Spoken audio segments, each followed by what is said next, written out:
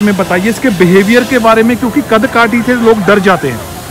Actually भैया इसका behaviour बहुत फ्रेंडली होता है। ज़्यादातर जो डिपेंड करता है ये ऑनर की सिचुएशन पे डिपेंड करता है वो इसे कैसे ट्रेंड करता है? कोई कांटेक्ट नंबर सर अपना?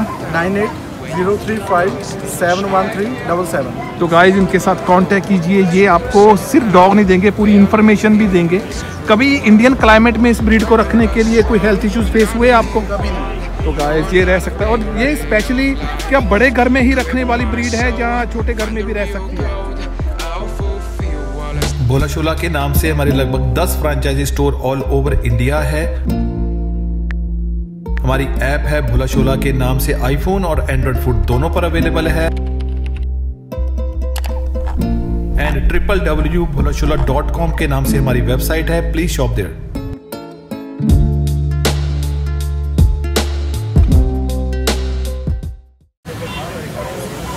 हाँ जी सर सत श्रीकाल।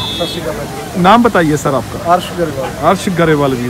गाइस ये आ, मेरे ही सर नेम सेम है इनका अर्श गरेवाल राइट थैंक यू बहुत अच्छा लगा। आ, सर थोड़ा इस ब्रीड के बारे में बताइए इसके बिहेवियर के बारे में क्योंकि कद काटी थे लोग डर जाते हैं। एक्चुअली भैया इसका बिहेवियर बहुत फ्रेंडली होता है।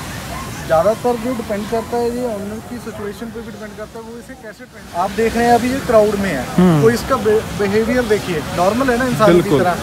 कोई भी एनिमल हो जो हमने ही क्रिएट कर रखा है जी पेट्रोल ऐसे होते हैं फ्रेंच ऐसे होते हैं या कोई भी है बॉडी एक्सरसाइज से होते हैं या ग्रेडर ऐसे होते हैं अकॉर्डिंग टू आपकी ट्रेनिंग है और आपका ट्रीट है। आप ट्रीट कैसे करते हो?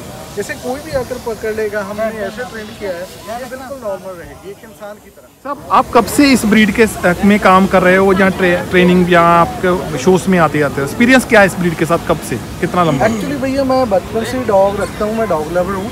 मेरा इतना काम ब्रीडिंग का नहीं है लेकिन एक अच्छे कैनल जितने डॉग मेरे पास अवेलेबल रहते हैं maximum two forty five dog सुना गाइस 45 डॉग्स हैं इनके पास। लोकेशन अपना कैनल की लोकेशन बताइए सर कैनल भैया एक तो हमारा अमृतसर में है एक लुधियाना में मछुआड़ा साहिब है एक मछुआड़ा साहिब में है। ठीक है कैनल के नाम? क्रोस्टियन बोन्स क्रोस्टियन बोस या हमारा इंग्लैंड से सर्टिफाई होके आया है यूके से। ओके वहाँ से सर्टिफाइड हुआ। इस ब्रीड के अलावा और कौन कौन सी ब्रीड जो आपके पास रेगुलर रहती है? रेगुलर हमारे पास फ्रेंच रहते हैं। ओके या जो कुछ डॉग हमारे यूएस से इम्पोर्ट हैं थाईलैंड से हैं यूरोप से हैं। नंबर सर अपना? Nine eight zero three five seven one three double seven. तो गाइज़ इनके साथ कांटेक्ट कीजिए। ये आपको सिर्फ़ डॉग नहीं देंगे पूरी इन्फॉर्मेशन भी देंगे।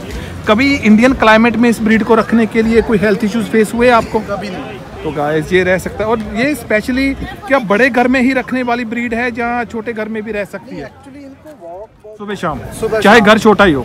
जी। अगर आपने छोटे घर में रखना है तो मैं फ्रेंच या टॉय फॉर्म रिकमेंड करूँगा। ग्रेट क्योंकि तो- वो बड़े अच्छे से उसमें मिक्सअप हो जाते हैं। इनको थोड़ी दिक्कत आती है। बिल्कुल अगर डॉग को फ़िज़िकल से ना मिले तो उसको जॉइंट्स में प्रॉब्लम आती है और बिहेवियर भी चेंज होता है। इनको हेल्थ इशू वगैरह हो जाते हैं। ओके थैंक यू साहब हैव अ ग्रेट फ्यूचर है